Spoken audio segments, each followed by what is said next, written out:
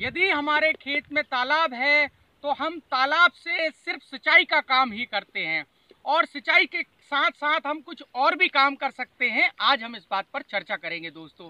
तो जी हाँ आज हमने हमारे तालाब पर हम आपको लेकर के आए हैं और ये चर्चा हम आपको करना जा रहे हैं।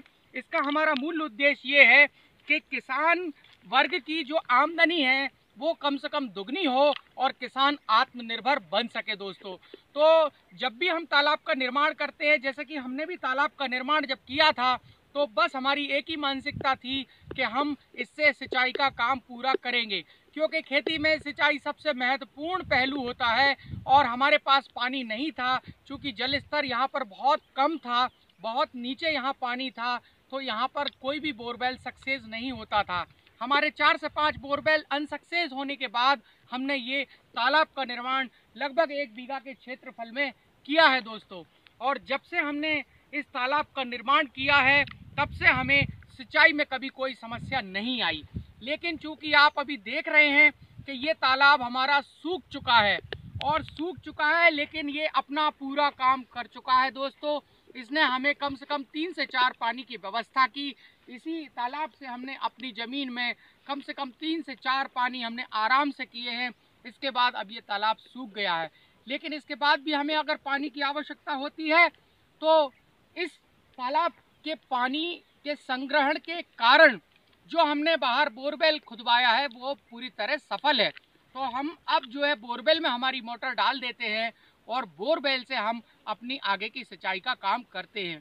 तो दोस्तों मैं आज आपको ये बताना चाहता हूँ कि यदि आपके पास तालाब है तो आप सिर्फ़ सिंचाई तक ही सीमित ना रहें। हो सके तो इसमें मछली पालन जैसे, सिंगाड़ा पालन जैसे, या फिर मोती का जो प्रोडक्शन होता है, उन सब के काम भी हम कर सकते हैं। क्योंकि एक किसान के पास थोड़ा जानकारी का अभाव होता है तो शुरू में मुझ पर भी थोड़ा जानकारी का अभाव था। मैंने विगत दो वर्ष मतलब पिछले दो वर्ष पहले मैंने मछली पालन का काम भी किया। लेकिन कुछ अनियमितताओं के कारण, मुझे कुछ जानकारी के अभाव थे, उसके कारण मुझे बहुत अच्छा लाभ नहीं हो सका। लेकिन मैं आपको अब ये शुरू से बताना चाहता हूँ, मछली पालन का काम भी मैं फिर शुरू करूँगा और फिर शुरू करने के लिए हमें तैयारी अभी से करना होगी। तो आप देख रहे हैं कि हमारा तालाब लगभग सूख चुका है। अब इसके सूखने के बाद, ये फ़सल कटने के बाद हम इसमें हकाई कराएँगे इसमें मिट्टी पलटने वाला जो आ, हल होता है वो चलवाएँगे। उससे पूर्व इसमें मिट्टी जितनी भी ज़्यादा है आसपास है वो एक जैसी कराएँगे जिससे इसका जो तल है जो उसका सरफेस है वो एक जैसा हो जाए। उसके बाद उसमें मिट्टी पलटने का हल क्योंकि इसमें भी बहुत सारे कीटाणु रोगाणु होते हैं जो कि आगे चल के समस्या देते हैं। इसलिए अगर मिट्टी पलटने के हल से हम इसको आ, इसकी मिट्टी को अलट पलट करेंगे तो निश्चित रूप से जो नीचे की मिट्टी आएगी उसमें जो बैक्टीरियाज होंगे वो धूप की गर्मी से मर जाएँगे।